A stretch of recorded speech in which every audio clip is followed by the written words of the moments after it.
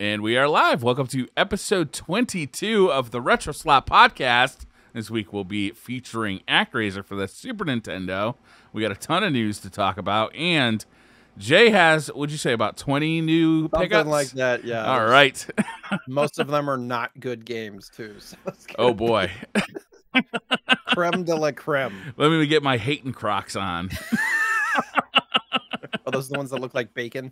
yes. Those exist. I would bet dollars to donuts that there are Crocs out there that exist that look like bacon. I was at the store with my wife like a week ago, maybe two weeks ago, and I saw a American flag themed pair of Crocs, and I was like, "Oh my god, they're wonderful in every way." And she said, "No, You'd be. I, I- you cannot like- wear those, not even around the house."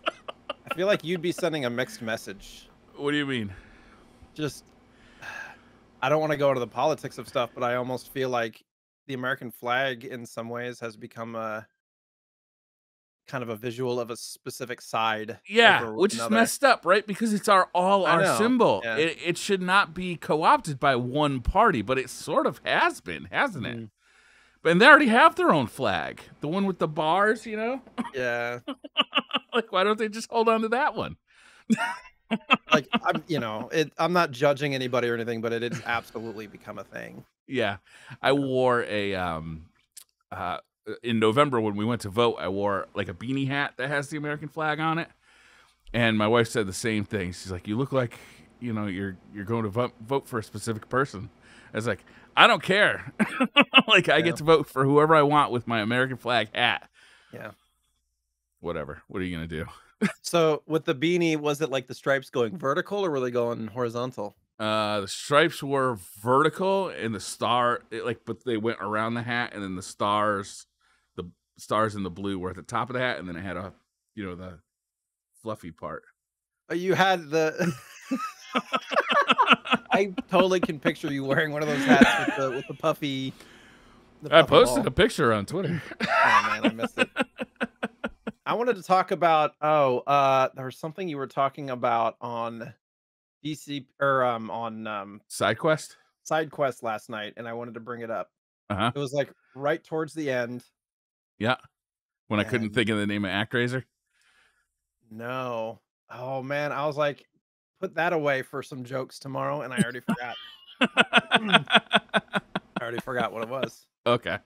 I'm to sure it'll like, come to you when you I stop may not, trying to like, remember it. Right. Go through the chat replay and try to get it. Fine. Um, I've been playing. Uh, this is kind of retro. I mean, uh, Skyward Sword, Legend of Zelda, Zelda Skyward Sword was a Wii game, which is about 20 years old, right? So that's kind of retro. I don't know. Do you think Wii is retro at this point? You've got it too. Yeah, I I mean I do think Wii is retro um because it's that 360 era still. It's like it's on the cusp. It's 15 years now. Mm-hmm. You know, like is it is it like old? No. But retro, sure. Like retro has like I feel like it has a wide gamut of definition in my head. Yeah. You So this is 15 like a- years is- It's like an HD remake, or not remake, but an HD update for the game. But they Mhm. did go in and change some stuff, so it's much more fluid. It gets they kind of they took out some of the stuff that was really kind of in your face about the tutorials and stuff like that, and they also allowed you to speed up text and all that. And I actually had bought this game for the Wii when it was new. With the remember the Wii Motion Plus that you had to plug into the bottom of your Wiimote. have the gold controller. Yeah. Um and I, I I fell off of that game almost immediately. I played like maybe an hour of it. Uh I don't even I don't even know if I got to the main like. Oh. continent, like the below world. Like I think I was like I hated this game like right at the beginning, but uh, I've been having a ton of fun with this uh Skyward Sword remake or the HD HD. I'm just going to call it HD. Have you been Um, playing with controller only, I imagine? I I tried both, uh, and I was playing with controller only, uh, because I was mostly playing in handheld mode. yeah. like shaking the whole damn thing. Yeah, yeah, and Uh, I, I like the combat because moving that stick around to like attack enemies from different angles with your sword, I thought it was actually pretty fun. Yeah, I do want to check it out, but like often these things will stay sealed for a long time. My wife might end up playing this before me, Yeah. I still have Link's uh, Adventure ste- sealed. I haven't, and I got Ooh. that right when it came out. Oh man, Um, I'd play that first.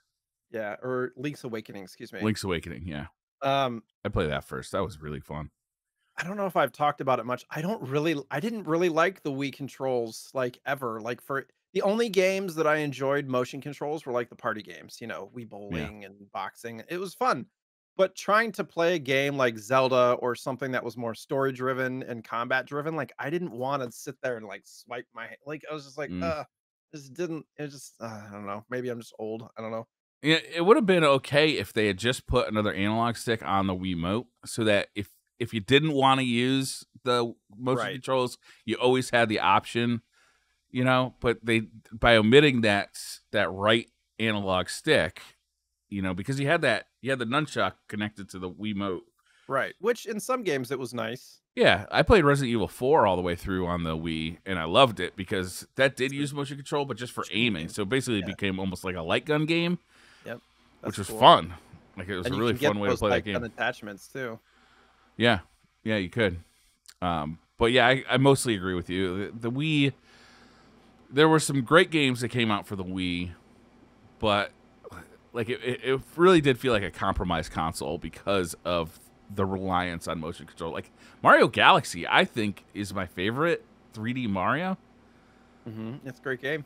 Yeah, but it it also doesn't rely on the motion controls that much. Mario Galaxy doesn't. Right. Uh, apparently, somebody in your house agrees with me. I, I saw I, Mario I Galaxy. I that was an upset scream, not a happy scream. Oh, I, oh, maybe uh, they're a I- big fan of uh, uh, Mario 64. Yeah, I I changed some settings on Discord because I was noticing when I would laugh, it wouldn't come through the broadcast and it wouldn't come through the recording. Really? So I I changed the sensitivity a little bit so it might pick up stuff in the background a little more. Eh, people have families, you know. Yeah. But um yeah, requiring motion controls on that stuff was never my favorite. Yeah, the the Wii U didn't require motion controls nearly as much, I And the therefore- more. yeah, I, I think I like the Wii U as a console more, and I, I did actually like the tablet, you know, Mhm. portion of the console. I never owned one for myself. I bought one for the kids, uh, who then played a ton of it. So I didn't actually play on it much while it was current. Hmm. When they stopped using it, we unhooked like it from the main TV, and I actually brought it up into the office, and I was messing around with it for for a while. And a lot of those games that I just missed, I've been going back to. But they've also been coming out on the Switch, so Yeah. Yeah. uh, that's been nice too. I don't know. I love the Switch though. I mean, it's I think it's my favorite Nintendo console. Like it's just it's taking the number one spot. Giving the option of motion control versus not is Mhm. great. And it's it's almost like a mashup of the Wii and the Wii U. It takes all the best parts and puts them together and makes it current. Yeah. Um, I think if the Wii had options and it had a better controller, because they had a classic controller, but that was only really used for for virtual console games. yeah. Like, But it was know, a nice controller. That that it- classic I mean, yeah, was it was kind of like it, it kind of looked like the Pro controller, but it didn't have it. I think it only had one joystick. It didn't have the second one, yeah, I and it had right. the D-pad and the four buttons. yeah. Um, I don't even think it had shoulder buttons, if I remember correctly, but it had Didn't this form factor. It was. God, it I can't even kinda like remember it now. It's it was like stark white. I remember the Yeah. look of it. I don't remember exactly. All I remember being comfortable. I remember liking it for playing like uh virtual console games. Oh yeah. I think that was Virtual many- console. It's it's amazing to me that they just abandoned the virtual console like they did. Yeah, and there's not more uproar about it. Yeah, yeah, right. How many people have like paid for? yeah, like a big library of virtual console games that's just not compatible with because you know it's it's probably a licensing thing, like moving that library from console to console. I don't know because aren't on both PlayStation and Xbox. If you bought something like on the PS3 or Xbox 360 library, you can still play them on current gen. Yeah, that's true. Isn't that how that is? I don't know. I could be wrong. Yeah, I don't know. Um, it may be. Yeah, I don't know. It's also if it's it feels like there's a lot of money in doing re-releases of retro games right now. So I I think that's why you don't see more games in the that online service that Nintendo offers. Because like you know, we could Konami could say, yeah, we could put them all in that service, all our Castlevania games in that service, or we could sell you the Castlevania collection and make Right. you know make a whole bunch of money. Guess what we're gonna choose? Did you see? Actually, I didn't even put it in the news. Did you see the uh the, three or four games that they added to the library recently? no. it's Internet Meme City. It was like oh really? Claymates, Kaboom, Oh and then like another European only crappy release. yeah, I did And see that. I thought you were talking "Where's about the, the the Castlevania collection. I'm like, they added games to the Castlevania collection. No, no, no, no, no, no, no. The, Yeah. the Nintendo Switch Online thing. yeah. It was like, wow, what bottom bargain bin barrel did you pull these from? Right? But Yeah, Claymates weird. actually isn't a terrible game, but it's just weird. It's a weird game. Yeah. Um, I've been playing a lot of video games though in the last two weeks. Like between Skyward Sword, uh, I've been playing a lot of Guilty Gear Strive, which not retro, that's a brand new game, and then ActRaiser. I'll be honest, it really did grab my attention. Like this Mhm. game is good. It's real Did good. you beat it? Because I know that it's a fairly short play. I did not beat it. Uh, I'm looking forward to beating it. And welcome back to episode 22 of the Retro Slot Podcast. uh, had a little technical issue there. I lost power uh, about 10 minutes into a podcast, which is no good. Uh, it, I might be able to recover the original 10 minutes. I might not. Uh, so we're just going to go from the top here. Uh, we talked about uh, Skyward Sword a little bit. We're both enjoying that. There was some issues with motion controls on the Wii. We discussed if the Wii was a retro console, and we both kind of agreed, eh, kind of. well, I mean, won't this it this will still be on Twitch? The the VOD will be on Twitch, right? Yeah. Yes. Yes. Yeah. Yeah. I was just about to bring up. I I found I I scoured for all of ten seconds the because I like to skip to the end, the side quest chat, Yes. and I Okay. remembered what my what my giving you shit was. You were talking about your e-bike. Yeah. Yeah. I got an e-bike. Yeah. Yeah. So for some reason, when I hear the term e-bike, I'm thinking of like you know a fictional bike. It's, it's like a A fictional bike. It's like a magic bike. well, it's like it's not real, right? You're, Okay. You're talking about something actually like an electric electric bike Yeah. going out, and I'm picturing you like in a like a full flight simulator setup with like Oh, Little oh, okay. like a virtual bike. yeah, know, yeah. You're like I was going everywhere. Yeah, it was great. I've been using that a lot, and Yeah, I, I have really come to enjoy this e-bike. I, I I think it's like three or four weeks old now, so I'm outside the return policy. so you love it. Yeah, so I love it. Um, but it's power assisted. It's got a motor on it and a battery, and it doesn't drive by itself. It's not a motorcycle, right? What it does is it just it senses how much power you're putting on the pedal, and the motor assists that, and you can turn the motor up and down like the power, so that you can uh, you can have it basically off, so it's just a regular bike.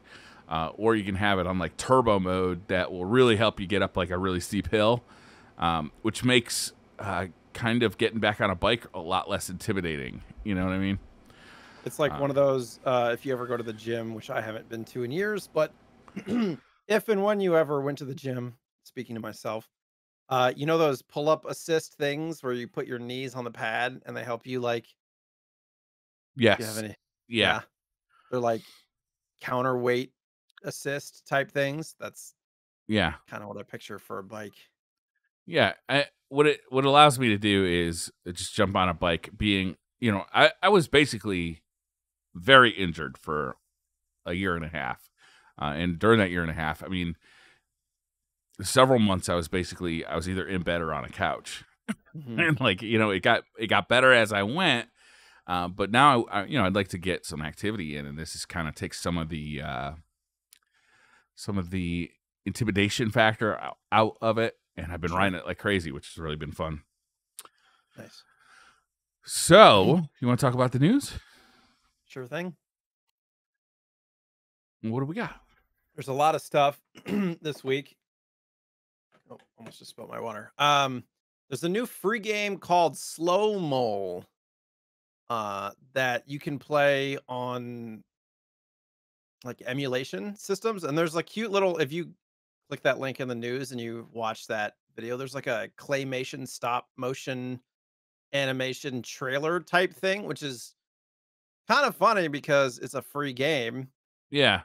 Um, but they are apparently coming out with a cartridge eventually Cool. that you will be able to buy. But it looks like an extremely difficult 8-bit platformer, and you're this mole who moves very slowly, but everything around you moves really fast. Oh, that sucks. So you have to like dodge all these things. But apparently there's a really cool um checkpoint mechanic that will only award a checkpoint when you've like beat a screen and moved on. And then you have like a checkpoint. Okay. So Yeah, it seemed- looks like kind of like a, a 2D puzzler, right? yeah, almost yeah. Like an 8-bit uh, what's the name of that platformer? The uh Meat Boy, Super Meat Boy. Oh, Super Meat Boy. It's like yeah. that, but you're not fast. Okay. and it's 8-bit. I like the way it looks. Like the graphics are pretty good. Yeah. I'll probably pick this up actually.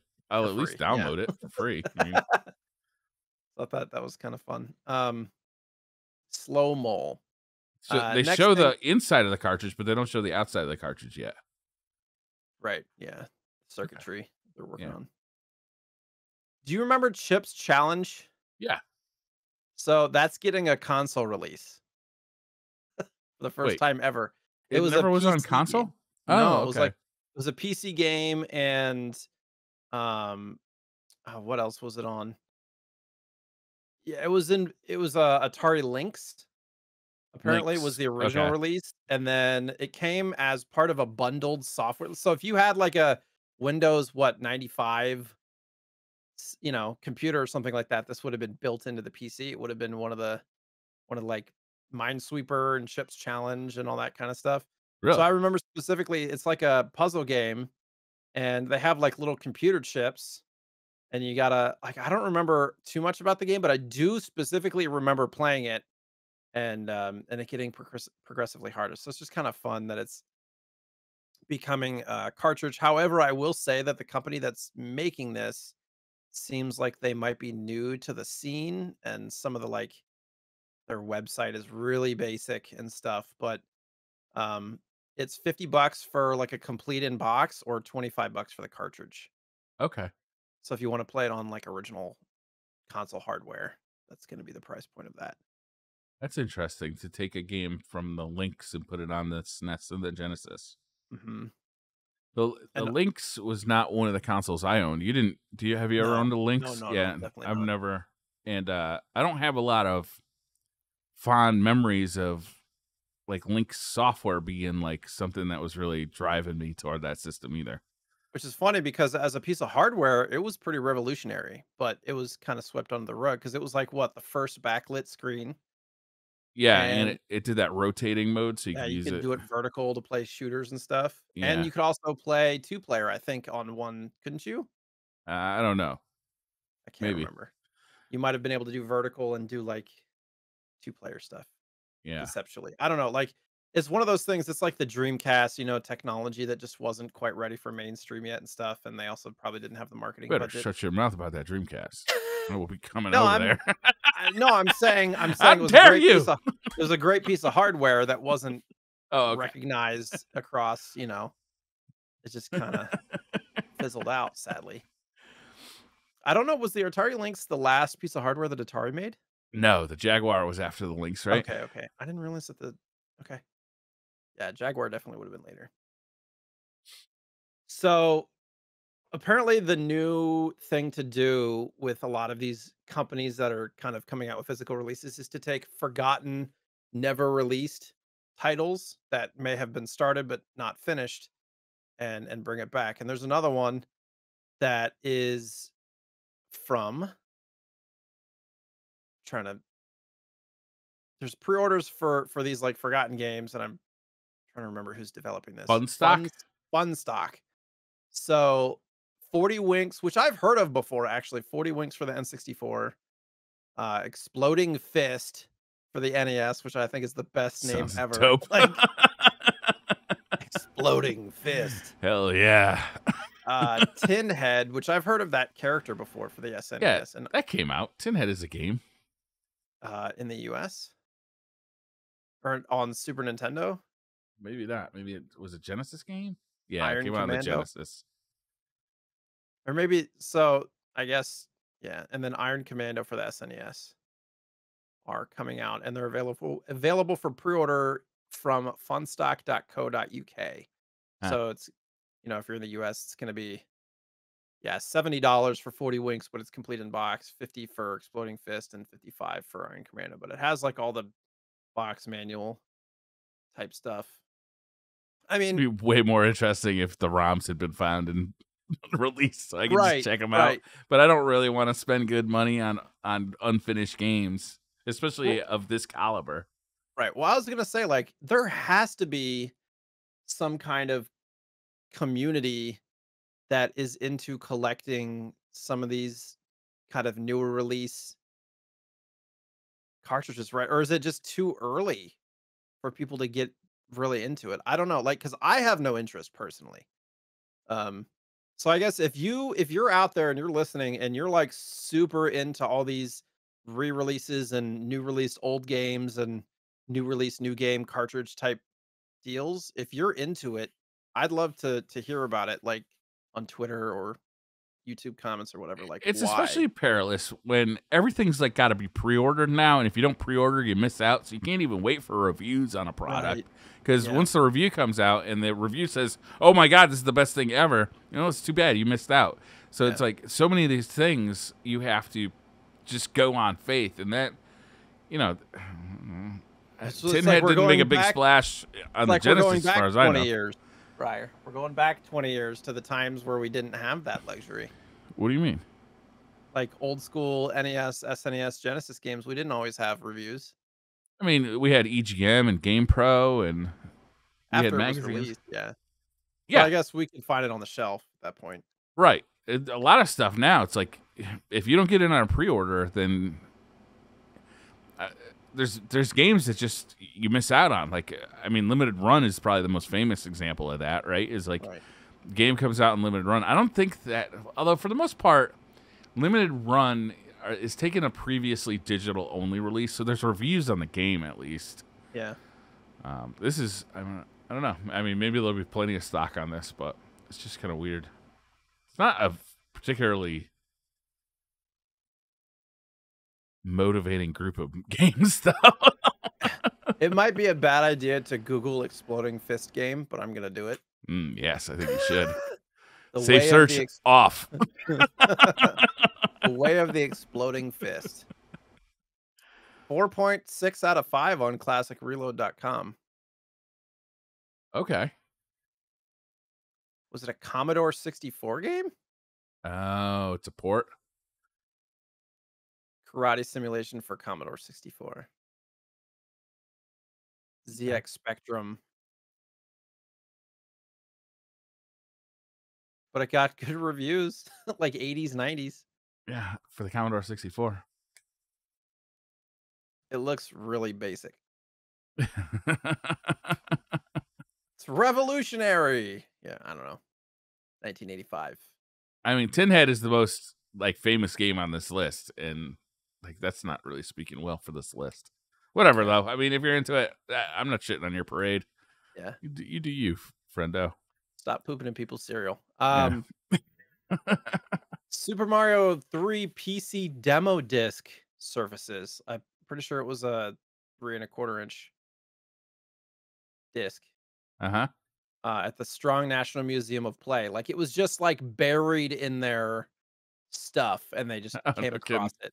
So the story on this was uh, the developer of Doom, John Romero, uh, released a video port of uh, the PC port of Super Mario 3. Basically, they they pitched to Nintendo like, "Hey, we really like your Super Mario 3 game. Let us make it for you on PC."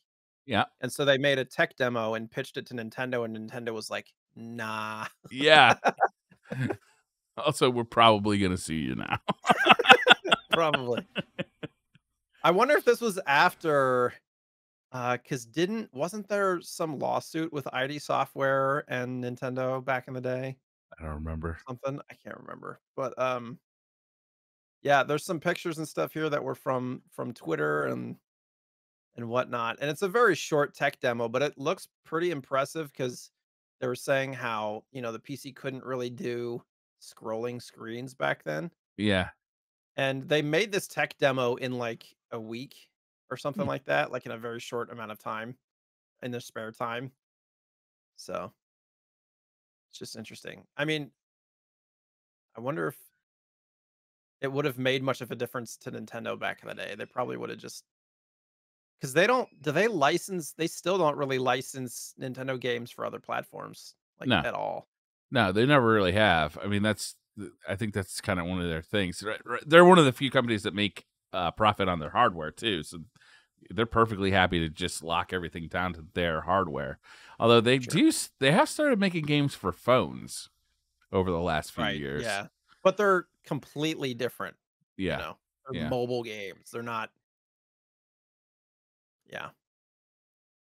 They're they're like free to play slash give us money for things type mobile games. yeah. Oh, I don't know. It's kind of interesting little footnote in history, especially that was made by John Romero. Yeah. There's a whole there's a documentary on I think it's on Doom.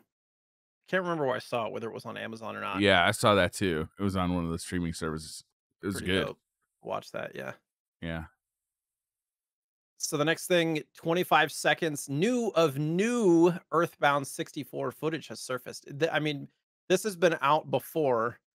Um, I I have not played Earthbound still. I should, but they were supposed to bring out, you know, Earthbound 64, which would have been known as Mother 3. So it was kind of like Earthbound 2, Mother 3. So they just named it Earthbound 64. But there was a sale of a disc CD-ROM from 1998 on some Japanese website, and a person named Zen Real Zen 64 picked it up for $357.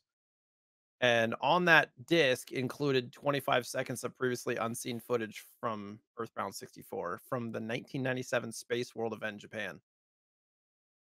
It actually like it looks solid. Like it doesn't look half-assed. Wasn't the 1997 Space World where they also showed Final Fantasy VII for the N64? Could be. I honestly don't know. Somebody Um, was like, "Would they be able to bring back this game on N64?" And it's like, "There's there's like a minute's worth of footage. How are you going to bring back a game?" Well, it might not actually be running on an N64 too, like that Final Fantasy VII demo that they showed, which was just really, yeah, that was. Think that was 1997 too. In which case, you got to think it was either running on a PC that was kind of like Good. supposed to look like an N64, you know, like or it was just pre-rendered or who knows what it was. But because this is on a CD, not like th- this isn't code running on an N64, Right. right?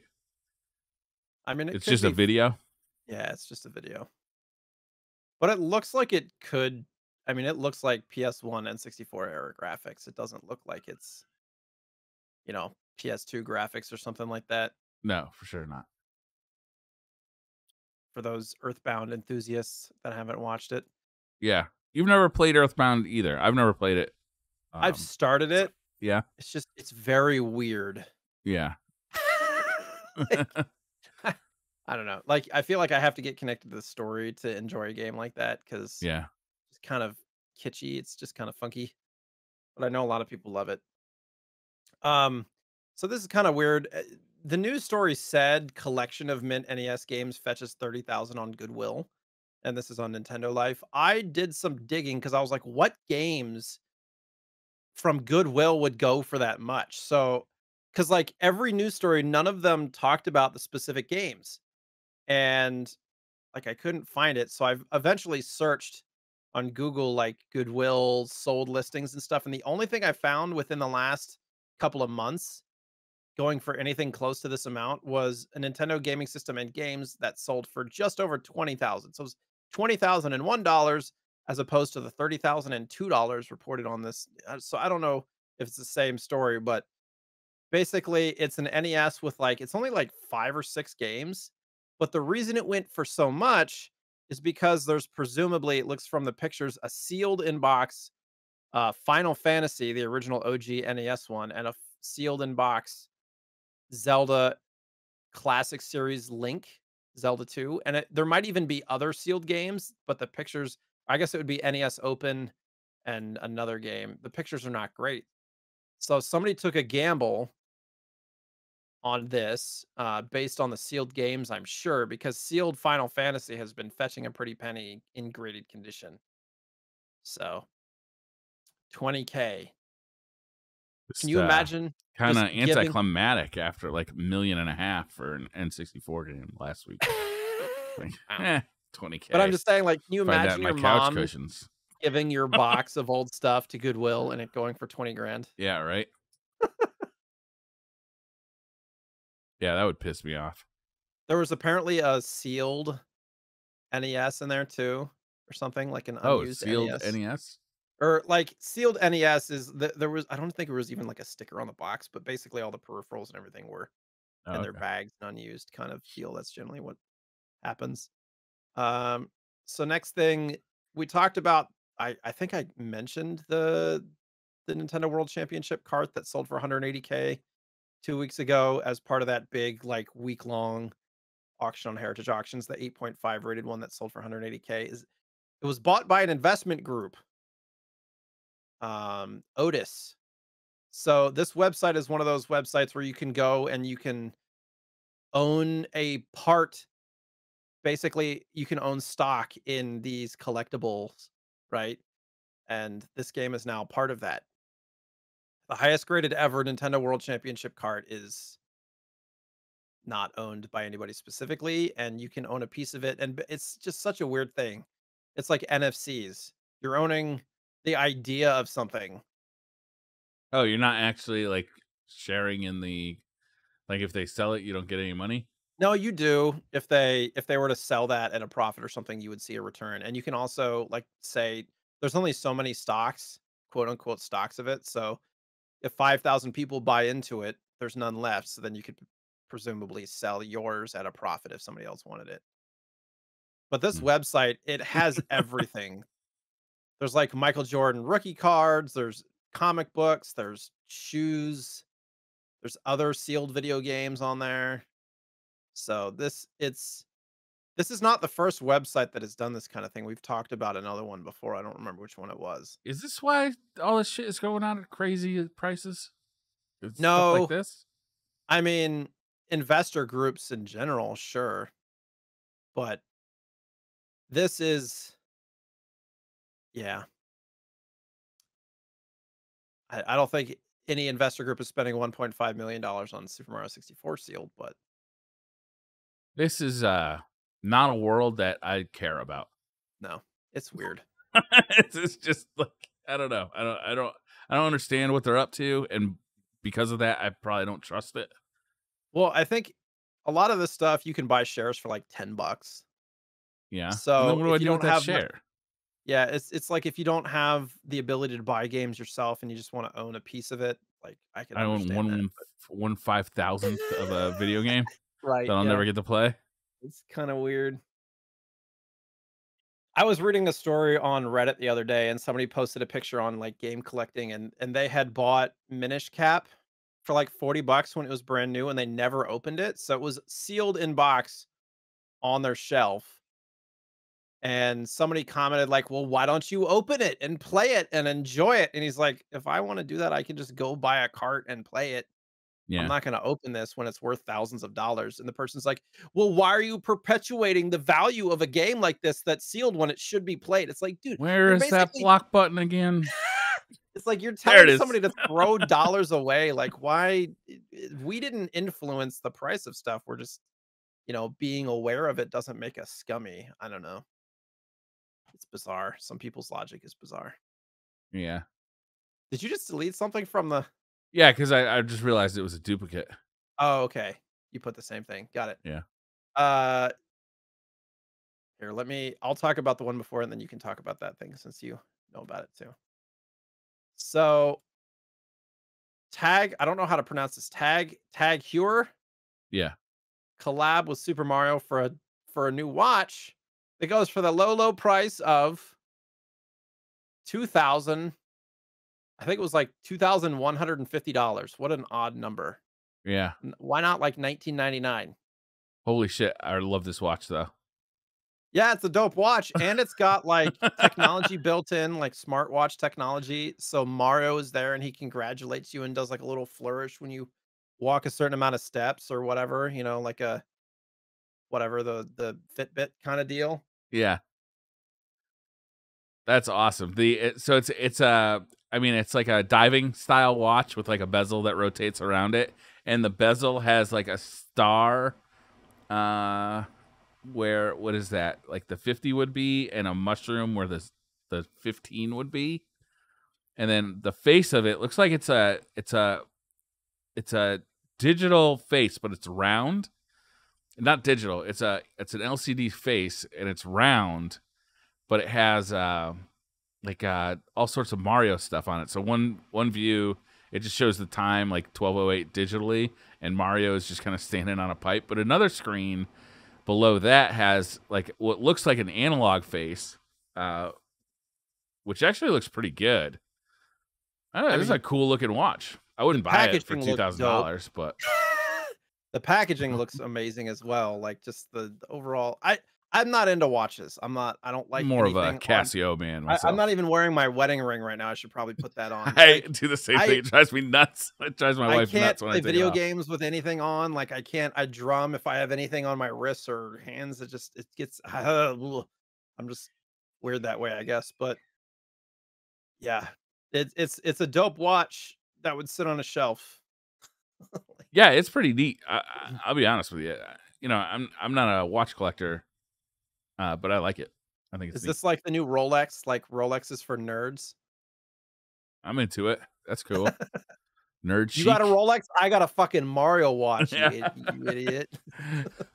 if they came out with a Zelda one, I might be tempted. Oh really? no. no. You want to get the next one? Uh, yeah. Okay, so this one's kind of neat. Uh, retro fighters has have been coming out with uh, controllers for retro consoles, new new controllers for retro consoles for a They're while now. too. Yeah, they're pretty good. Uh, and they just released one, or they- they're they just revealed one for the original PlayStation, the PlayStation One, that's going to be wireless. It has dual analog sticks, uh, and kind of a modern. Uh, I mean, it, it looks a lot like a you know a modern Xbox One- One controller or a Switch Pro controller kind of shape. Uh, it looks pretty good. I mean, it's hard to say how they'll feel till you get them in hand. I reviewed a couple of these over time, and like I've had kind of qu- quibbles about them. They're Like the- they're not heavy enough for me. Yeah, They feel kind of light. yeah, but it is nice to have a new wireless controller using modern wireless, um, you know, uh, communication methods. To yeah, to use on original hardware. I did that for the Yeah. N64 because there's not. I did too. Yeah, Yeah. and I, I like that controller a lot. Actually, the the one for the Dreamcast I liked less. Hmm. Uh, the one for the N64 had a rotten D-pad. I thought, Really, uh, but how often do you use a D-pad on an N64? right. You, you I mean, it don't. made sense for an N64 game because N64 controllers are tough to play with to begin with. Plus, there's no modern Yeah. way to play an N64 game really. So it made sense, and it, they're not. Too, it was like thirty or forty bucks. It wasn't exorbitant. Yeah, they're not expensive. The Dreamcast one was the same thing. It's like you know, Dreamcast controllers are getting rare. It's nice to have a wireless Mhm. version. It wasn't that expensive, but I didn't love the analog stick on that one. So I, they're Yeah. good, but they're not great. They don't. They're not like 8BitDo quality. If Right. you know what I mean. true. Let it be note noted that uh, this does have the PlayStation analog stick placement, so the two in line, which I generally don't like because it it really kind of stresses your wrist to push them both in. Um, but for those that like that style, and also it can be used for PlayStation 1 and PlayStation 2. Oh, that's nice. cool.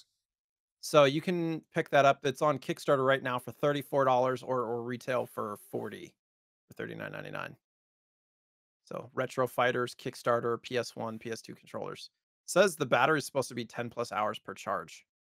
That's great. So on like a USB C or whatever. So I, I like that this company's out there doing this. I, th- I Yeah. think they just need just that next step up in quality, though. Maybe this is the one, though, right? It's like maybe this is the one that has everything going on. Well, Um, it seems like the market for this is somewhere between the kind of general consumer and the kind of collector type vibe. It's not like a high, it's not like an Analogue product. It's more like a Retron product for people who like just want a wireless controller that works, you know. Yeah, yeah. It's Ye- it's more they do have cheaper ones, but this is probably the best value that you're going to get. It's just 8BitDo. I think is like raise the game. Like I, I think the 8BitDo. I use the the Pro Two controller as my Mhm. main Switch controller when I'm playing not in handheld mode because I think it's actually better than the first party Switch Pro controller. Oh, I wow. think it's better. And I do you think like that stick placement better cuz I can't do that like well, mostly Yeah. I use the D pad. Okay. That looks like a more like a PlayStation control. I prefer the Xbox placement or even the ones with the two. Um, so the the Switch Pro controller has like an Xbox joystick placement, but Yeah. the Wii U one had both joysticks up top, which I, I, like that one. Yeah, that was neat. because it's just really neutral hand position. You don't have to like really stress your hands at all to use the joysticks. Yeah, I don't really have a preference where my uh my analog sticks are. I find both positions to be relatively comfortable, but I am very hands. picky about D pads. Uh, and there is a dearth of good D pads in the gaming Yeah. industry right now. Yeah. Well, and props to 8BitDo do they like remade their SNES controllers because they knew that they had D-pad issues.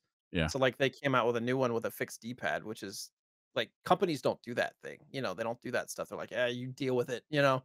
Yeah, Um, but I was just gonna say the main reason I don't like PlayStation controllers is because I don't have giant hands, but I don't have teeny hands. They're like, I mean, I'm short, but I have big palms and short fingers.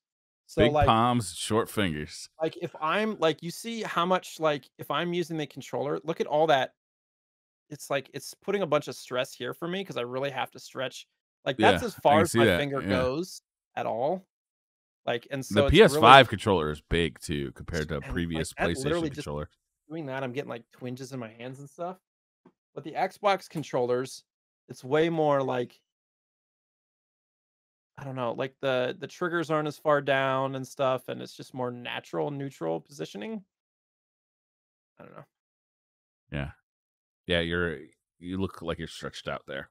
I think it depends on the person, but yeah. This the 8-bit do one is not much of a stretch. you have big hands though, I can tell. What they say about a guy with big hands, right? Huge gloves, extra large gloves. They're hard to find in stores, honestly. like really he's it, like he's showing me on the camera and his hands like bigger than the whole controller. It's fine. So I think that's it for news. kind of a slow news week, I guess. No, no big, check it up. no 1.5 million N64 Yeah. cartridges being sold.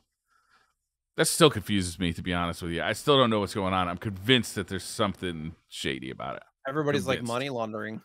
You know? right? like something's going on. it made sense because it was like, well, now you know somebody can say I spent 1.5 million dollars on a thing. There's receipts that trace back.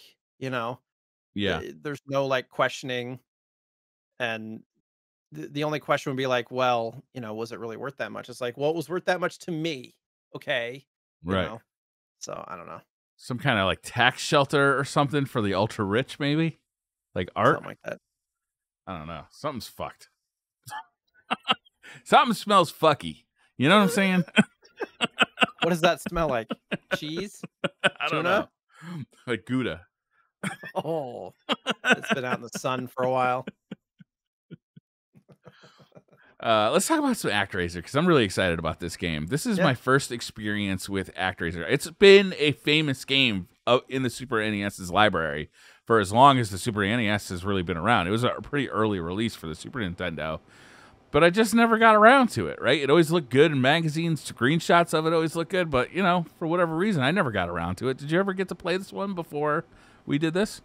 I played it a little, little bit as a kid, but some of the things that I'm going to touch on, like as a kid trying to navigate some of the UI UX stuff, I got stuck and I think I just got frustrated and put it put it down is what I Yeah. remember.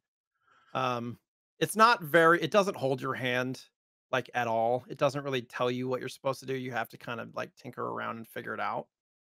Um which is something I dislike in games. This game um it got great reviews from like everywhere. It's on everybody's like top list. People were upset it wasn't on the SNES Classic. It's got one of the best soundtracks ever. Um, which actually the soundtrack has been released recently on CD and vinyl. It's sold out on vinyl, but you can pick it up. Oh, if I can't have Uh, it on the- vinyl, I don't want it. It's like a big blue record. It looks dope. That's cool. But there's just things about this game that I got frustrated with. Um it it doesn't tell you like where to go, what to do. You just have to like try all the options and see what works. It'll be like, no, you can't do that right now, you know. And so you'll try the next thing. It's like, oh, you're gonna go fight monsters now to clear out the things for the thing. I'm like, okay. And so you do the 2D stuff, which the platforming in it is not super R- real quick Um, for anybody who hasn't played it it's Yeah, it- there's two different aspects to this game right there's a god mode game where you kind of you you it's an overhead perspective and you basically are like playing like a god game like Populous or SimCity or something like that uh, and you got to protect your citizens from monsters that fly in with your little cupid kind of angel. your little yeah your little naked angel. And you fly around with your naked angel and you can shoot like monsters that are flying in but you also kind of show your citizens where to build and you can you have access to like you know lightning and fire and i don't think fire actually lightning and sunlight and stuff like that you can basically do this like kind of god mode game but then to progress at certain points you have to play a 2d side scrolling action game so there's like kind of these two different parts to this game and you kind of alternate between them as you progress through the story sorry go ahead my bad. No, it's okay. Um, there were aspects that I liked. I did like the kind of SimCity esque part of it as an idea, right? It was a little tedious to have to like continue to keep track of the little demons that were coming in while your villagers were like building and trying to get over there and stuff like that. So it like I enjoyed that part. Um, but like I said, when you go into the 2D stuff, the platforming was kind of janky. Um, it was one of those platformers where if you jump, like once you've committed to a direction and a distance, you're like you're all in on that. Uh, you jump. can change direction in air you can at least slow yourself down in air Can you? yeah definitely can slow yourself down i don't know if you could actually change direction like mario Right. But it just it felt kind of heavy. The platforming stuff feels deliberate yeah Yeah. Uh the boss fights were fairly easy until I got to the one that I was just like, all right, I'm done. Which one was the, that The waterfall with the little platforms and the snake coming in. And if you got hit, it was like a Ninja Gaiden effect where you just like flew off and you die. It's like there's nowhere to go. Um and it was just this long snake. So it's not like you could just jump over it because it would go in a straight line. So you just like hit it again.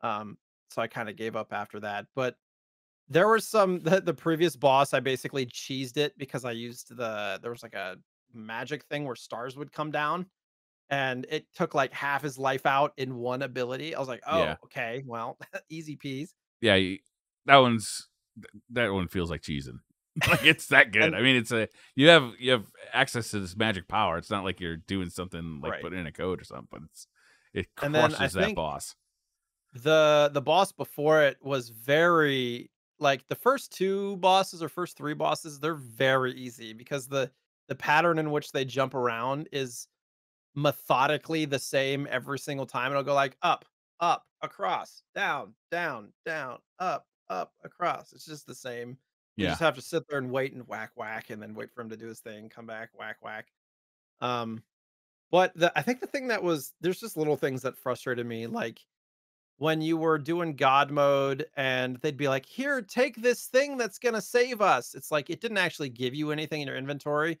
You'd have No, to you go have to go. Yeah. and and receive the offering or whatever, even though it said they gave you a thing. And some of those moments were unclear. Like I'm like, "Where's that loaf of bread that I need to save Timmy?" You know, Do you, like do you have a manual? I do. Yeah, Did you read the manual? I didn't. No, Okay. I wonder if reading the manual would have cleared this stuff up, or if it possible. if it wouldn't have been at all.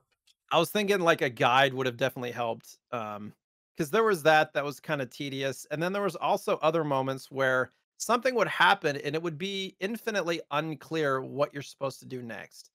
Um, there was a part where I finished the second village, and the villagers were like, "We're ornery and upset," and da da da da da. I was like, "I don't know what to do." So like literally, I was on stream and I was like, "Well, fuck the village," and I like lightning striked them, and they all died. they all died, and I was like, "Not You're a cruel god. and but I still it's still like when you looked at when you would like listen in, it still said that they were like upset. even though fighting, It didn't, yeah. have, it didn't have the little icons flashing anymore. But they were all dead. they literally like- got electrocuted. I tried every option. I was like, should I ins- should I put wheat here? No, that didn't do anything. This, Yeah, that, you don't unlock the option to make those people happy until later in the game. right. So I I googled it, and it's like you basically can't do anything about it right now. You have to come back. And I was like, well, wait, it's not yeah. clear in the game. Like, yeah, you know so i was stuck doing that for like 20 minutes and just kind of was feeling frustrated so it's i think the earliness of the game shows it it's a good game that i got hung up on some of the menial stuff that probably shouldn't have mattered but those and you know i could say this about any game if there's something that is so frustrating to a player that they stop playing that's a problem in my opinion yeah, yeah. I would agree. they can't figure out how to solve it. And I had people in chat like, try this, try that, try this. And I couldn't. I Yeah. literally had to Google it. I had to Google that same issue that you just said about the villagers who weren't happy, Mhm. but it was it wasn't a problem for me. I was actually oh okay, like I just need to wait. Um, but it, the only reason it bothered me was because I was so invested in my villages at that point. Like Yeah. that was only the second village, and You're I was like already yeah. I was already invested in my villages in there because what this game does is as your villages thrive, they find things around on the map and they will you know they'll, they'll your villagers will do things right? Not necessarily like you don't see them doing these things but the game will just kind of randomly come up and say hey your villages you know your villagers found were out fishing and found a relic in the sea and they give it to you and that gives you a new magic power or the ability to use magic powers twice or more hp right? And like so the better your villagers are doing and the bigger your village becomes the stronger you become which i think is a really cool relationship and i i agree with you that some of the stuff wasn't super clear but by the time i was done with my second village i pretty much had a hang on what all the controls did and what I needed to do. Yeah. Right? It's like it, it, it wasn't spelled out for me. I also didn't have the manual. I didn't read the manual beforehand, so I just kind of had to like press all the buttons to figure it out. But there's not so many buttons that I really like. I felt overwhelmed at any one point in time. It's a pretty simplistic, Yeah. like is. God game, right? But I found it really enjoying and really relaxing because you're kind of. It does this kind of loop where when you first come to a new settlement, uh, you'll you'll land there. You, your little uh, your naked angel comes flying out, and you know you have this little like base, right? And then you tell your people where you want them to start building, and the the eventual goal is that you want them to build outwards toward the monster spawn area, and which uh, there's a bunch of on every map. And then once they build out that way, they can close the monster spawn area.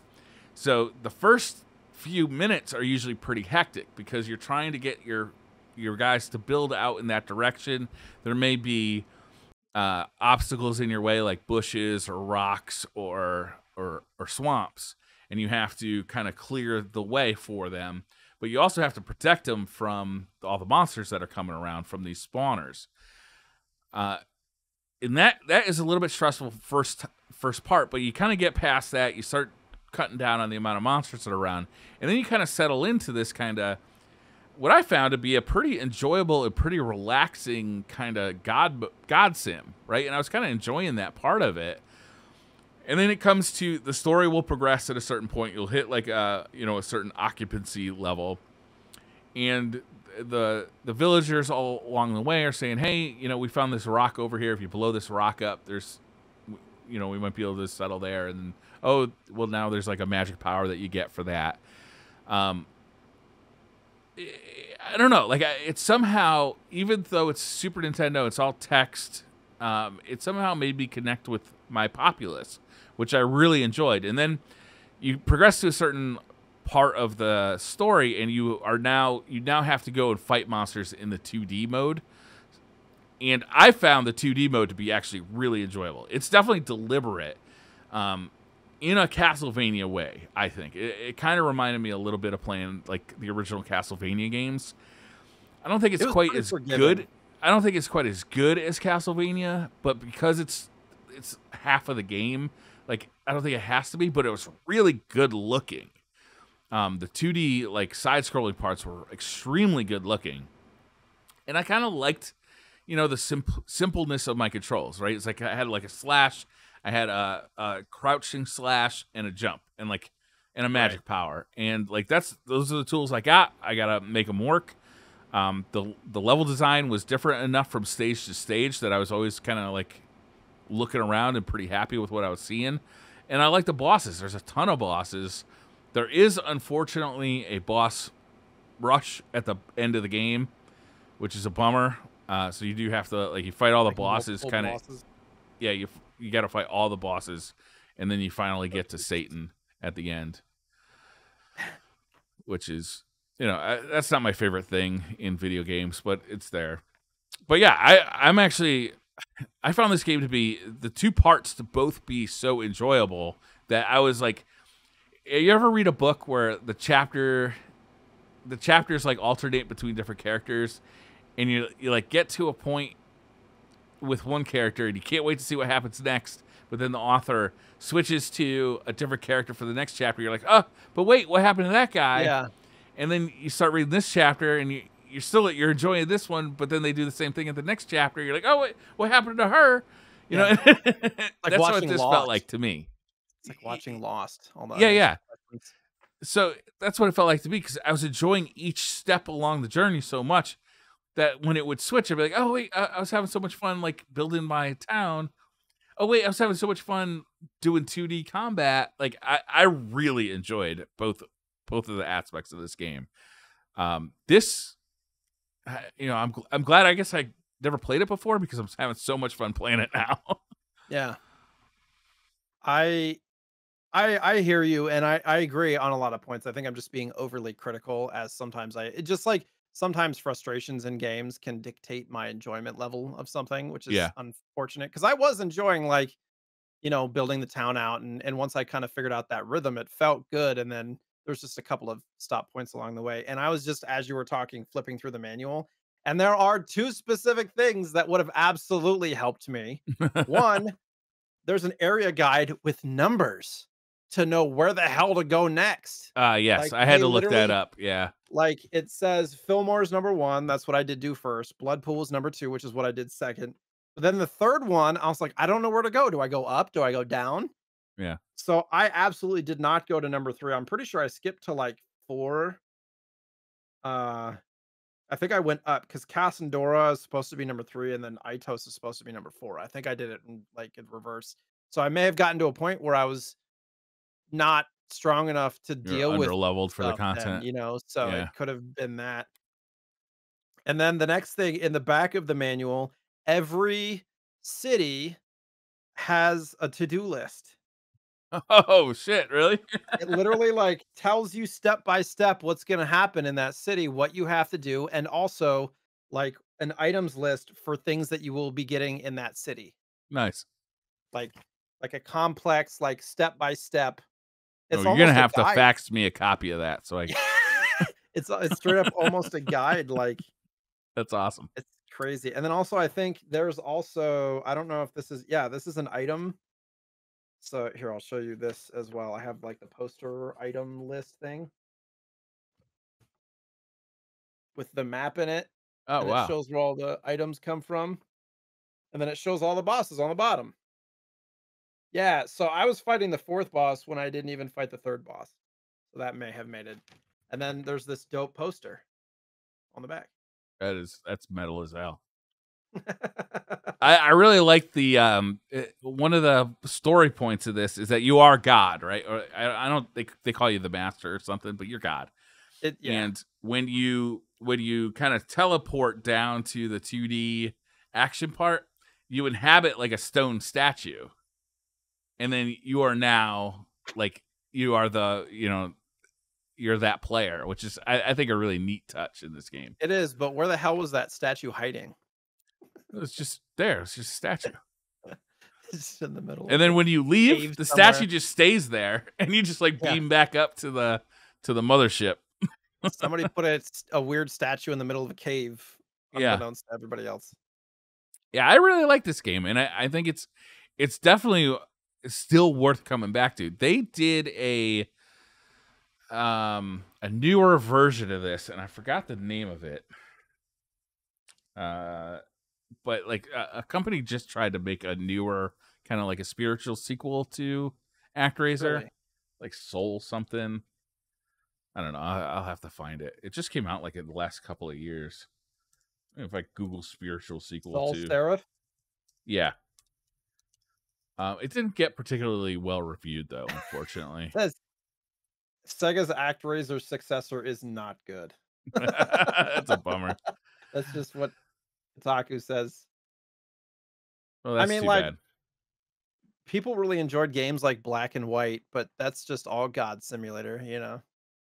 Yeah, yeah, yeah. I think this game holds up really well. It, it was super fun to play. Um, I haven't beaten it yet. I'm definitely gonna keep plucking away at it. It's it's funny too. Is when you said it doesn't like hold your hand. The other game I'm playing, like kind of side by side with this Zelda, uh, Skyward Sword, definitely holds your hand. Like too Yeah. much, arguably. You know, and they overcorrected with this because the next game after this in the Zelda series was um, Breath of the Wild, where you basically just wake up and they're like, "Have at it, motherfucker." Yeah. Which I had luck. frustrations with that too. I got lost in Breath of the Wild too. Everybody gets lost in Breath of the Wild. I think that's the point. Uh, I do like. I tend to like onboarding in games that that hold your hand at least for the beginning, so you can really feel confident in the process. yeah, I like games preference. that let me play the game. I get really frustrated when I have to like go through a bunch of like like story or tutorials. Right. Uh, I'm not like, necessarily. Yeah. I, I, I just get you. really frustrated. That's why I don't like Japanese RPGs a lot because man, they they will make you just sit there for hours. it's I think I prefer like if you think about mobile games and the way that they do it, you're you're going through the game, but the first time you're doing these activities, it's telling you what you're supposed to do and why. Yeah. You know, so it's just it's taking you through your normal process of what you would be doing by yourself, as opposed to like a separate like here's how to press B to punch. You know, I'm not not necessarily saying like a full on tutorial mode, but um I don't know, onboarding to the games because every game's different and just knowing what the process is is nice. Yeah, back in the day, that was what the manual was for, right? Yeah, Like, Now that they don't include manuals, they I do it in the granted. game. Right. So you mentioned earlier how it's not God, it's the master. It actually was in Japan when this came out. It was God and Satan. Yeah. And then Nintendo of America with its, you know, censorship stuff, they turned it into the master. And there was also some other things that I don't think I even put on here, uh symbols, religious symbols and stuff that they changed. There was the Star of David that they changed to just kind of an innocuous symbol. Um but that that is something that happened and then all three of the releases J- japan north uh, north america and europe all had differences actually in the difficulties and uh, certain specific things in the game were different across every region so it- i found that to be interesting like it, Mm. and it's not so much as like there's one that's the best it's just they're all kind of different different ways Nintendo is famous for that. They would not allow any religious content right in America. Nintendo America wouldn't. Uh, there's a bunch of stuff that's changed. Like Satan, in the game in the Japanese game has horns, but in the American game he's kind of got like lightning bolts for eyebrows instead of horns, which is it's kind of weird. But Yeah. there's a there's a ton that was changed in this game for the American release. Be Yeah. fun to play the Japanese release. I wonder if the Japanese release is in English. Uh, if you play it on Analogue, probably. Yeah. Because I think a lot of times Analogue has patches for Famicom games and stuff. It was ActRaiser without a capital R in Japan too, which is not really that interesting. But I, I don't know why the U.S. capital capitalized R. Maybe it looked better. Uh, there was an art, yeah, ActRaiser. there was an arcade version of this game that only had the action stages. There was no God mode. yeah, the, you can access that once you beat the game as well. Yeah, Like I uh, think professional mode, it's like double. right. Everything's got double health. that was one of the things that's different between like Japan and the US is that mode. Um I think the the old like Nickelodeon video game show, I can't remember what it was called. I think they had ActRaiser on that show, if I remember correctly. I don't know if you know what I'm talking about. No. Yeah, there's a old Nickelodeon video game show. There was also a limited mobile phone release of this game in 2004 that had three side-scrolling levels. I have n- I don't know. I didn't look at the images or video of that at all. Was it just three side scrolling levels that were plucked out of this game Probably and none of the God mode stuff? probably. That's weird. Mobile phone Um, game in 2004. What were you playing that on your like your StarTAC? I know that was before I got my first pocket PC in 2005 from Sprint. It's Okay. like one of those slide out. Like it could play WoW on it, and everything was tiny Yeah. because it wasn't formatted for, you know, like that small of a screen. But I remember that was like that was the new thing was, you know, LCD colored screen, touchscreen stuff. I did mention that there was the CD vinyl of this soundtrack, and then also the only other thing was to to Briar's point, the last time this was available, this game, the last time it was available was on the Wii Virtual Console in like 2007. Like you can't, it was not on the SNES Classic. It's not on uh, the SNES library on Switch. Like that's it.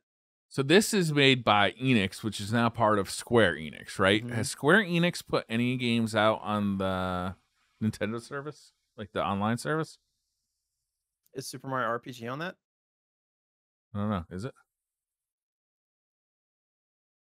Or Chrono Trigger or Chrono Trigger is not. They just they just re-released Chrono Trigger like as on a cartridge, like that remastered version of Chrono Trigger.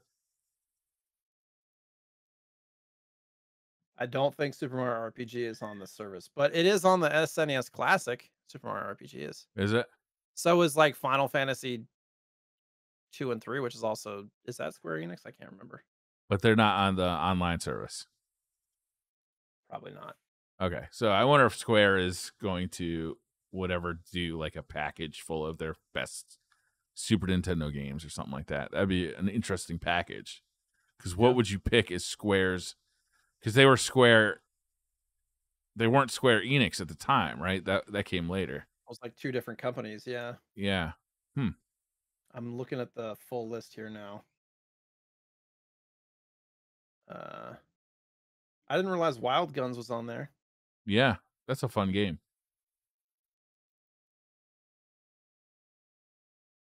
Anyhow, Yeah. I don't think any Square Enix games are on there. I wonder if they'll do like a collection of some of their best. Breath mean, of they- Fire isn't Square Enix, right? They're coming out right now with their their uh their remakes of the NES Final Fantasies, right? On the Switch Online service? I think it's on the Switch Online service. They're selling this as a cartridge, I think. Oh. Where? Is that like limited run? No. I think so. Or like scrambling? Makes it's like the the Pixel series or something. Oh yes. That's like a Steam Pixel game, right? remaster series. Yeah. Yes, it's Steam only. right now. I don't But, know I mean, about it, to be theoretically. Theoretically, it'll be coming out to other things eventually. Final Fantasy one through six. But I wonder how they're remastered. I think the pixel art looks really good, but people are upset that the menus don't fit at all because they use like modern, uh, high resolution fonts for all the text in the game. Hmm. So people are kind of bummed about that. But other than that, I think it's supposed to be pretty good. I haven't seen a full review of it. It just came out July 1st, 2021. Yep. Oh no, I'm sorry. That article was written July 1st. The the titles arrive on Steam July 28th, so tomorrow. Yeah, I was gonna say because there's Nell Nell Star was tweeting about like keys and stuff. So go get go get you a key. Yeah. Is that all we have to say about Axela? Uh, Axelay. Why do I, Yeah, I I didn't not remember the lot- name for this fucking game? I don't, I don't know. what it is. Axelay? That is a different SNES game. I actually. know. It's a good one too. I I looked on Heritage Auctions to see if any of these had sold. There was one copy of of ActRaiser that had sold on Heritage Auctions within like the last year, and it only went for like thirty eight hundred or something. Oh, Sealed, that's it? like, n- Jeez. 9.2 or 9.4 something like that i know like imagine not going for 1.5 million this, Uh, i would argue that this is kind of a it's it's a well-known game but it's also kind of a hidden gem to the general public like I feel you know, like it's on everybody's top ten list though. for gamers yeah but you talk to like anybody that it's like yeah super mario zelda they don't know about actraiser Yeah, maybe, metroid maybe. There was a there was also an ActRaiser 2 which ditched the God mode, Right. and it was just a side-scrolling action game, but it's not well regarded. Yeah. I i own that bad. as well but i don't think i've ever actually played that one No, it looks really slow. Hmm. Speaking of things you own, did you get any pickups uh, no, I haven't bought anything. Wow. I've Imagine not buying 20 retro games. Imagine that. But you've been working on like your your your, your um arcade pad and stuff like that, your arcade stick. yeah. So basically, I went to the retro store, whatever it was, like probably I don't remember. It was like a week a week ago, and I took a bunch of stuff in, and I got more credit than I thought I was going to get, honestly. And I've kind of run out of heavy hitters to get from that store. So what I ended up doing was I just like I have a long list of stuff to pick up there that they have like priced kind of under the market right now and stuff that they've had on the shelf for a long time. So I just started literally going through it was like, okay, that's a $20 game. Okay, that's a $30 game. Okay, that this like I like it just got to be a long list. And then I also got some stuff on eBay. So these are all games from the game store that I picked up. Um I'm trying to figure out. I'll start with NES and I'll go from like cheapest to most expensive. So um the only reason I picked up this is because apparently this is the rare variant label, which I don't know. So the Untouchables for the NES, which I looked up some some video and reviews of this. It's not a good game. Um, there was a couple of people that were like, "I I'm glad I experienced it, but I never want to play it again." But it's another one of those games where it's got like five different play styles in it. oh, really? So if I was like watching it, and there's one scene where it's kind of like Wild Guns, where you're behind the players and they're shooting like down alleyways. Um, there's another scene where it's a 2D platforming game. There's another one where it's an isometric platforming game. There's one where it's top down. There's another one where it's like a scrolling shooter. Like it's got a lot of variety in gameplay, but I don't think any of it's really great.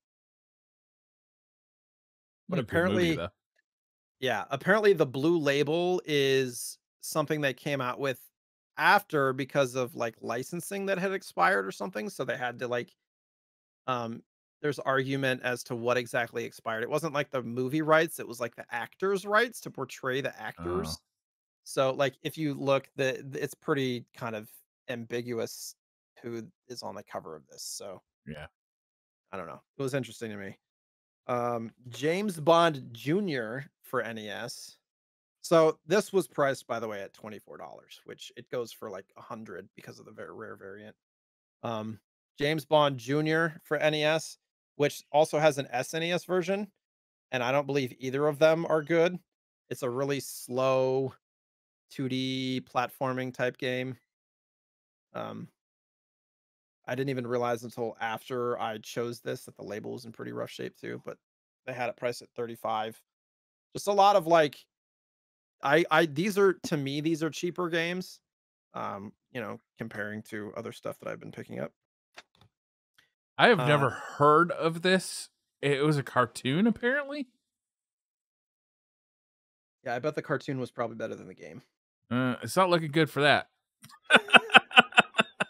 It's a THQ game too, which is interesting. Oh, this looks rough. Yeah. Doesn't THQ make some good stuff? No, Oh. not back then. They didn't.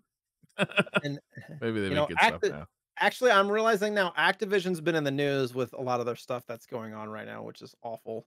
Um, but this I just realized is an Activision game. Galaxy 5000 for the NES, which is a good racing game. It's kind of an isometric top-down game a la I don't know, like the Micro Machine games or Rock and Roll Racing for SNES. They say that this is like a kind of a predecessor in um kind of in thought to Oh yeah, this looks fun. game. Yeah, so it got great reviews, and I'm realizing now the Activision logo, I should take a picture and put it on Twitter. Oh, it's the old one with the rainbow. It's got a rainbow on the label. Like, how far and distant is that away from the idea of Activision now? You know, like the way that re- what rainbows represent now is kind of inclusivity and stuff. But I just thought that was, I literally just saw that as I pulled the card out. So that's Yeah, kind of there's a fun bunch of looking- shitbags running that company. Yeah. Activision Uh, Blizzard. the last loose NES cart, Frankenstein the Monster Returns, which, by the way, Galaxy they had listed at 29. I think it's going for like 40 or 50 now.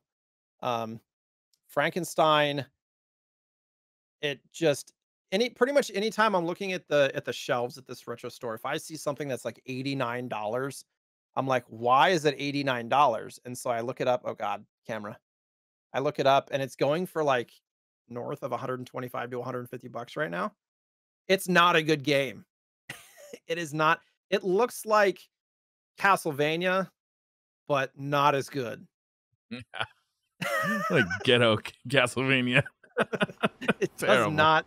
It does not look good. But I think it's just it's a Bandai. It's a Bandai game, and I think just you know it's one of those more obscure titles that tends to fetch kind of a larger price tag, which is why I ended up picking up that. That this was like the most expensive game I got from the game store.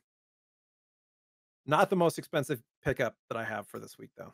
All right, moving on to uh, SNES loose carts. the combat tribes, combat tribes, combat tribes, com combat tribes, combat. This label's in rough shape, which I wish I would have maybe not even picked it up. It's it's it's a it's a cheap knockoff of Final Fight essentially, and it's not Wow, there's good. so many of those back then. It's it's a it's a cartoony beat 'em up where the graphics, the sprites do not look great. my God, this looks awful. oh Uh, man, and 20 looks like they're they're really running running it fast and loose with uh, copyright infringement in this one too. He looks like Guile, doesn't he? Yeah, There's there's a guy that definitely looks like Guile. There's definitely that looks like Karnov. There's a guy that looks like uh, I don't know. Uh, there used to be a clown that I can't remember, Bozo the clown or something. Phew, Man, this looks shitty. Most of the games that I This is this is notable for like being like how oh man, and like it's got the last level from uh Streets of Rage. I might want to Oh, play really? this just because of how bad it looks. like a meme. Yeah, just The for combat- funsies. The combat doesn't look horrible. It's just the whole thing in general looks horrible. Like there's no frames of animation. Yeah.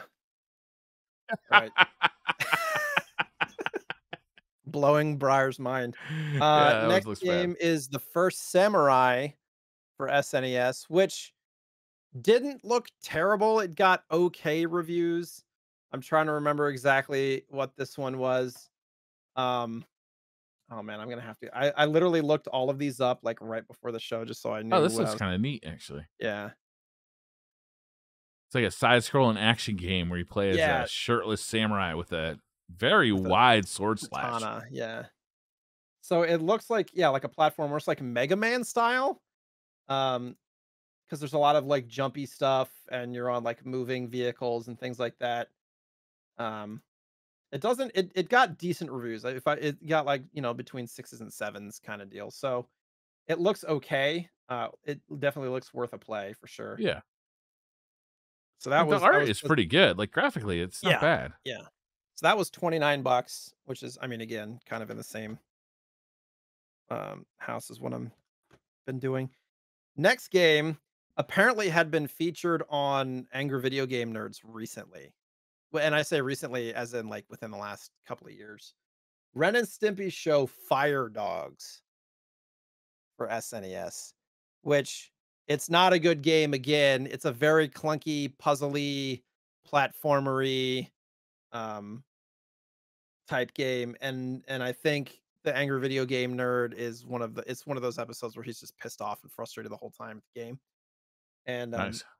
the the I will say the graphics do capture kind of the personality of the characters and their kind of aloofness, at least for Ren. Oh, I disagree. the colors are awful, but it still got some personality. so that one was marked at 35. This I think since the Angry Video Game episode, this has been going up steadily. Okay. It's- There's something about that show when people see it, they go out and try to buy these games even when they're awful, just to like Yeah. just for the meme of it, I guess. So there's that. Um you do you remember the show Eek the Cat? Uh somewhat. there's a a game and it's made by Ocean. Ocean pretty much played like they made all of the NES, SNES, uh, TV show, movie games, like a lot of them. Like literally, the Untouchables game was Ocean. Waterworld for Virtual Boy's Ocean. Um, just a lot of them. This is not a great game. Again, it, it's a 2D platformer, and there's a lot of like rescuing different characters, but it looks painful. Like the sprites are pretty large, and it just looks kind of clunky and slow and Yeah. not good. Yeah, that doesn't look good. No. Uh, now there's a couple of decent SNES games. All right. Bonkers Bonkers. for the SNES. The you remember the show? It was like the the Roger Rabbit light kind of cat. Somebody described this. It was twenty eight dollars. Somebody oh, and Eek the Cat was also in that range, twenty five. Um, somebody described this. I read on a review. It's like Sonic for the SNES. Okay. I mean, it looks the graphics look really good. If you yeah, if it doesn't look at bad it. at all. It's a Disney game. Um, you know, it's a Capcom game. That's probably why. Um, uh, like, did you know? I didn't even know that it was a Capcom game until I literally just looked at it. But the graphics look amazing. The platforming looks solid. It got decent reviews, sixes, sevens. Um, there were so many of these like mascot platformers back there Yeah. then though it's hard for any of them to stand out you know like so you could make a a seven or eight out of ten one of these and it's not going to stand out because there's could just be so any many of 'em, character. You know. right like and this character i don't know maybe they they had a cartoon or something did they Yeah, the- the yeah, Disney cartoon. but i'd never heard of him He was uh I he was a cat. He was like a I don't is he Bobcat? He's he was a cop. So he was like Oh. a crime fighting cartoon. And yeah. I re- I remember vaguely the the cartoon and he had a co not co-host. He had he had another cop with him and I don't remember what the character looked like. But I remember he had a partner uh, on the show. I don't remember too much other than that. I'd have to go back and look at it. It's probably on Disney Plus. Um, this one I didn't even know existed until I was at the game store. Uh, yeah, Bonkers was 28. This one was 35. Prince of Persia 2, which was on a lot of platforms, PC, all sorts of stuff. They say it's really good. I watched the video. I mean, it's it's it's Prince of Persia, you know, the stereotypical kind of like jumpy fluid animation type platforming, but it got well like good reviews, like eights, nines in some places kind of story driven platforming type content looked interesting. you ever Um, played a prince of persia game I have, yeah. Yeah. The it's, old it's ones kind of Prince of Persia and Pitfall, like where the I I remember specifically, it's kind of where grappling came in. where yeah, you they're they're and- very much animation priority games. yeah. They look hit a fluid. Yeah, they looked great, but I never liked the way they played. I just I always found them to be very hard and very frustrating. Yeah. I just remember specifically the animation of them grabbing onto the ledge and like pulling up and stuff like that. Like always kind of it caught my eye. I'm I'm looking these up on YouTube as you go along, and some motherfucker uploaded Prince of Persia 2 walkthrough, but it's in stretched widescreen. it's in GBA mode. You fucking monster. Um, going along, I talked about this on the last episode, and I went back and ended up buying it. Jurassic Park for an uh, SNES, the first one, and the reason I bought this, like specific copy, I was pissed because it's an assembled in Mexico cart. For anybody who's been listening, they know my opinion on assembled in Mexico. Versus made in Mexico is fine. It's the assembled in Mexico Majesco releases, which were terrible. This is a first person So shooter? has- Uh, it's a platformer. Yeah, you have a pistol. You've never played the original Jurassic Park? no. It's like Indiana Jones, kind of. Actually, no, scratch that. This one is an isometric. Is the second it looks like there's parts that are isometric, but also first person shooter. Yeah. Like this is different um than what I remember, I guess. I might be remembering the second one, I'm not sure. But the box was made in Japan. The manual's made in Japan because it's color, but the cart was assembled in Mexico. So it's a Majesco release. But the reason I picked this up, and I looked this up after, I got this very rare SNES overlay for Jurassic Park that goes on your controller. I wonder if that goes on like a Oh, it doesn't really because the the power the the start and select on these, but you can kind of see it. It and it shows like it's almost like an arcade overlay for your SNES controller. And these are pretty rare just in general. Um, I'm not even sure where they came from. They may have come from like a Nintendo Power situation or something like that. There wasn't a whole lot that I could find on it.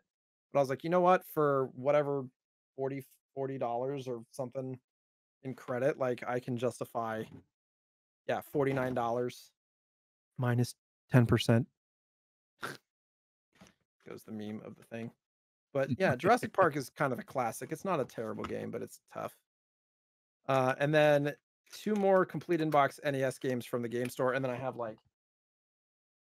six more complete inbox games to go through that were from ebay uh rambo for nes Oh yeah. Look at that cover art. God damn, he's sexy.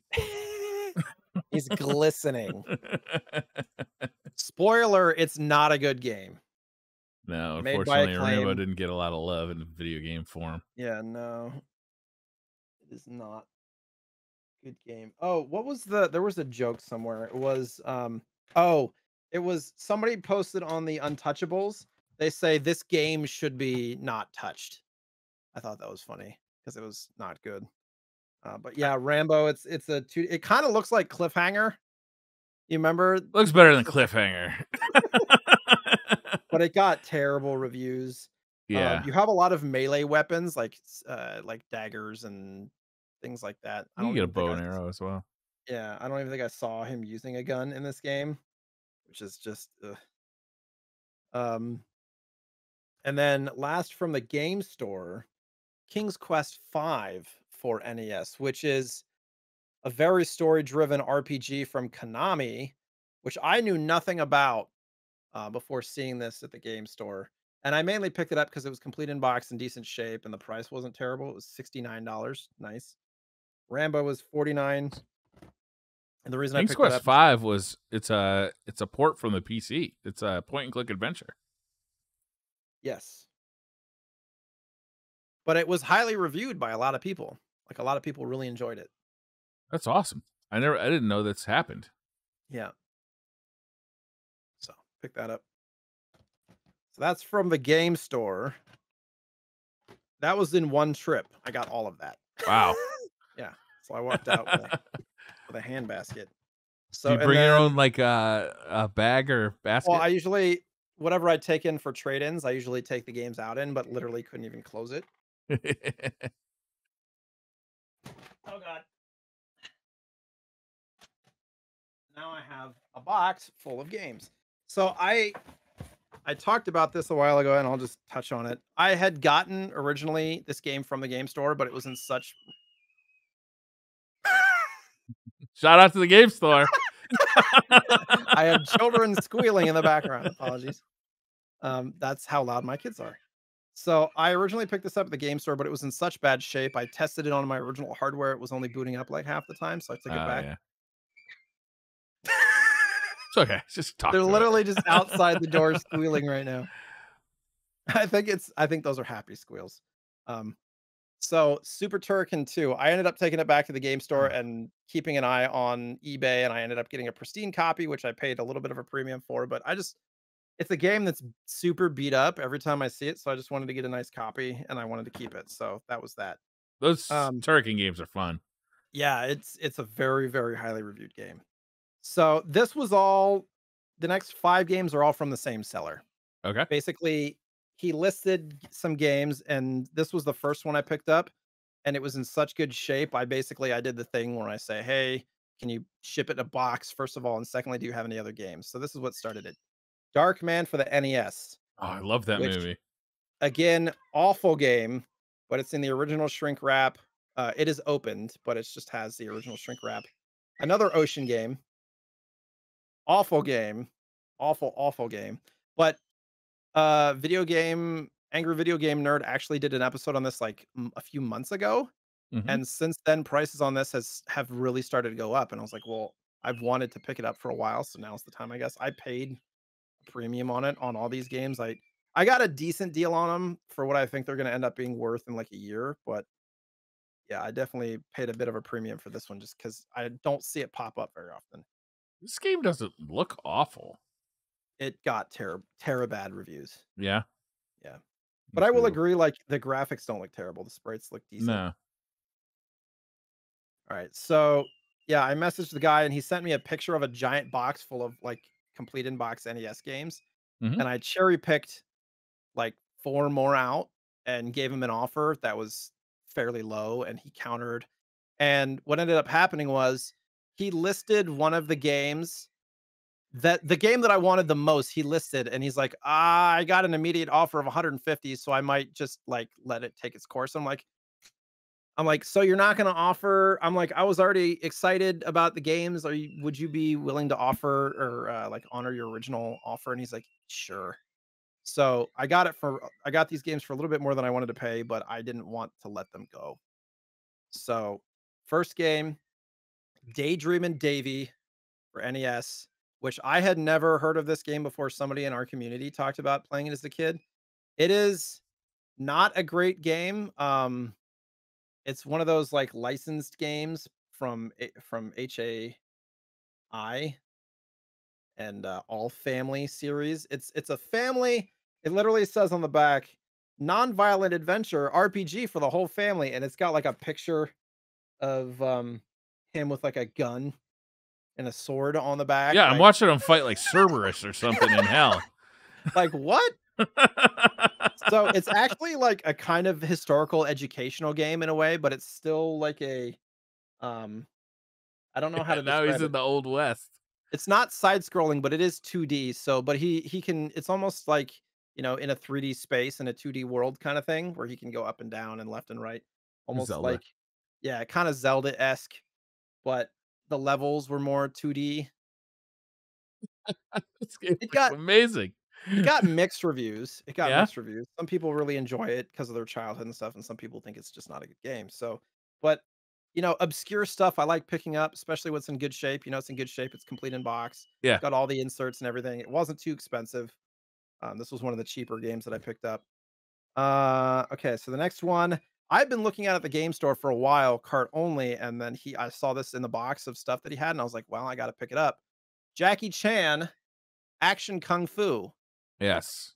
which is actually a fairly well reviewed game. And this apparently was a port of a TurboGrafx game that was very well received. That's a good game. That's a legit good game. Yeah. yeah. So this was a port of that. And if you look at the NES graphics, like the sprites are fluid. He's he's got a giant head, which is kind of awkward, but the combat looks solid. Like the reviews were solid. It was like in the seven range.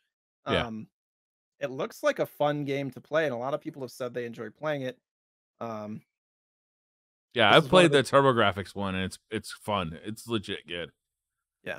This is one of those games again that's really hard to find complete in box. Um, and just the way that prices are going, like there have not been any.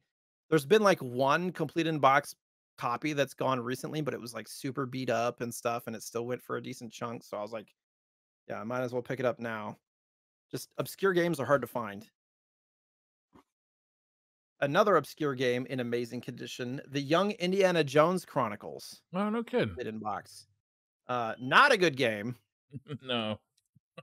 Uh, it looks like Contra, but like a cheap Contra port. I mean, actually, if I remember correctly, it wasn't like horrible reviews. Like they were kind of mixed. But it does. It looks. There are some sequences where you get to ride on like a motorbike, uh, and some other stuff. Some stuff looks interesting, but like it, this game was just in pristine shape. And again, another kind of obscure title that I like to get. River Phoenix on the cover. Is it? Is that who was on the show? I never watched the original show. I believe it was River Phoenix. Not sure. I didn't even know the show existed, and then I saw this game. Jaleco, makers of not great games. Right. Is it Jaleco? I always thought it was Jaleco. Jaleco, that's yes. I think Jaleco's right. So the game, this is the game that, and I posted it on Twitter, so most of you, anybody that's listening that saw that, know what I'm going to say. But this was the game that was I wanted from this lot the most, and I was willing to kind of haggle based on this. And then he listed it, and he's like, "I got an immediate offer for 150." Like the second he listed it, and he was like, "I don't know if I want to sell it to you because I want to see where this goes." And so I ended up like getting him to honor his original offer uh, which wasn't a bad price. Like I have not seen these go for an average of these prices at all. So I paid cheaper than kind of the going price, but I was trying to kind of I wasn't trying to lowball them, but I was trying to get it for my price. Um, Darkwing Duck. Oh, And I've been wanting Darkwing Duck complete inbox for years. Um, this is not original shrink wrap because it doesn't have the H seal, but it is like Toy Works. Apparently, he bought it from Toy Works, and everything's in solid shape. Uh, cart's in amazing shape. All these carts are in really good shape. The box is in good shape. Um, I already owned this game, cart only, so I'll be selling that or trading Nice. it or whatever. Uh, but yeah, I've been wanting a complete copy of this for a long time. Now That's I cool. might have all of the kind of spin-off Capcom games complete in box. Yeah, Rescue not- Rangers too. Isn't that the like the hard Res- one to get? I don't have Rescue. I have Rescue Rangers cart, but not uh, that's gonna be like a thousand dollar game. But Yeah. um, I think like TaleSpin, Little Mermaid, uh, Little Nemo, Darkwing Duck, Ducktales, Chippendales, Rescue Rangers. I have all those completely in a box. Yeah, they And Capcom was doing some cool stuff on the NES. oh yeah, I didn't show. Did I show two weeks ago the? I did the cells. Yeah, from Little Nemo and stuff. And last, but certainly not least, the best game ever to come out on the NES.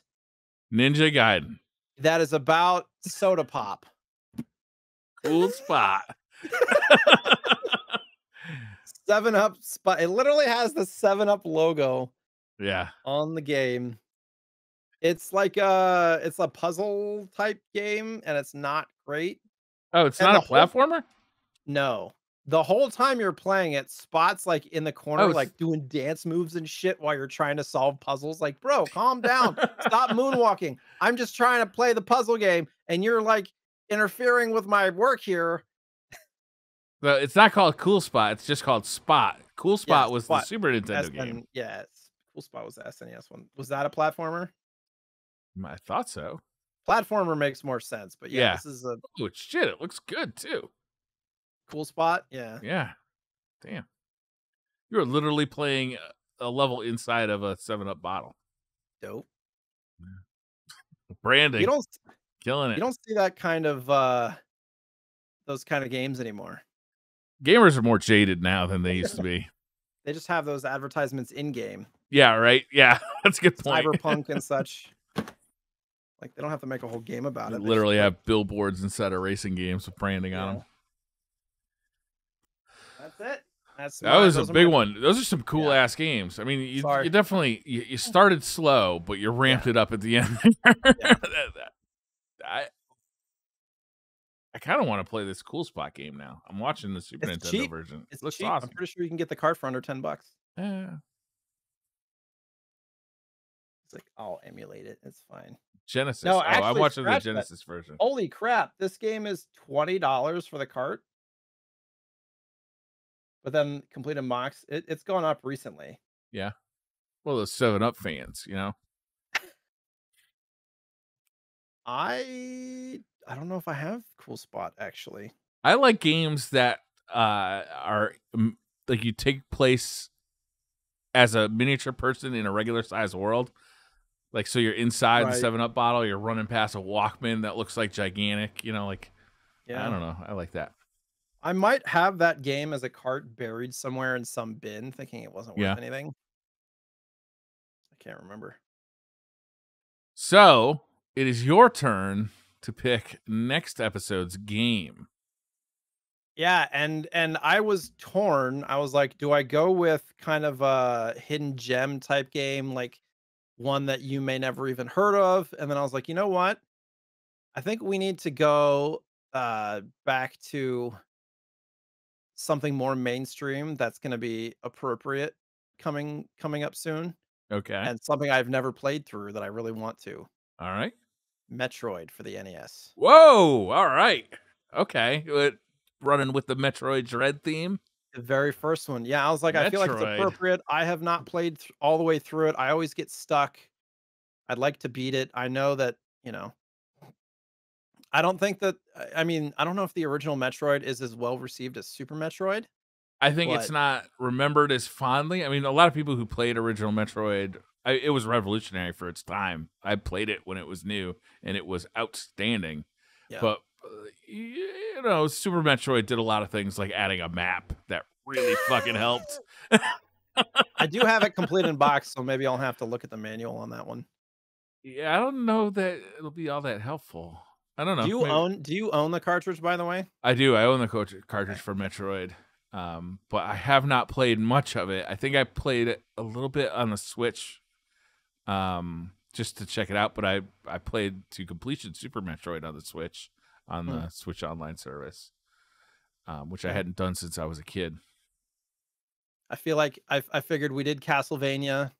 Now Yeah, we need to do Metroid so we can get the Metroidvania going. yeah. I, I am down, man. I'm I'm down for a playthrough. Like I, I'll probably, I'll be honest with you, I'll probably open up a uh, like a guide of some sort because Yeah. you can To spend a lot of time just wandering around fucking Metroid because there's no map. Yeah. That's a I'll cool pick, man. like I'm I'm excited. I That'll was be excited, I was like, you know what? That sounds like a good like a good plan. Yeah, We'll do an obscure one next time. yeah. All right, is that going to wrap up the episode? I think so. All right, I'll try and stitch it back there in the together for YouTube and for podcast. We'll see. So we had a little technical problems at the beginning, but I'm sure we can figure it out. Thank you guys for watching. Jay, where can uh what what are you up to this week? Uh gonna be working on some master vault of glass stuff in Destiny tonight, trying to get that Triumph stuff done, finish out Solstice stuff. Um community games this Friday. Uh probably we played Destiny 1 raids last Friday. This Friday we're probably gonna do like Quiplash and other community type games, have some laughs. Cool. uh, just kind of be in community together. So that'll be this Friday evening, late if you're up late. Um, otherwise, you can find me on Twitch, Twitter, and YouTube at JSniperton. And uh, always welcome to say hi or, you know, copy me on a crack meme that we can make fun of Briar together on or whatever. I'm down. How about you, Briar? uh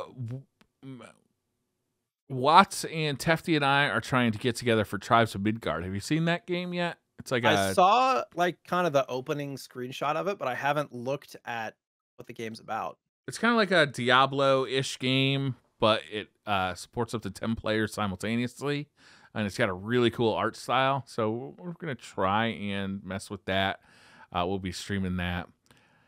Uh, we got DCP coming up on Thursday. That should be an excellent episode. And other than that, I was just kind of hanging out, uh, enjoying the sunshine, doing some golfing. You know, Nice. We'll see. Awesome. It's supposed Thank to be you- hot this week here again. Is it like as hot as it was last time? It's supposed to hit 100, but Woo. not 115. Ah, that's hot. Yep. Thank you all for watching. Thank you for hanging out. We'll see you in the next episode. Until then, have a wonderful uh, couple of weeks. Bye. Bye, everybody.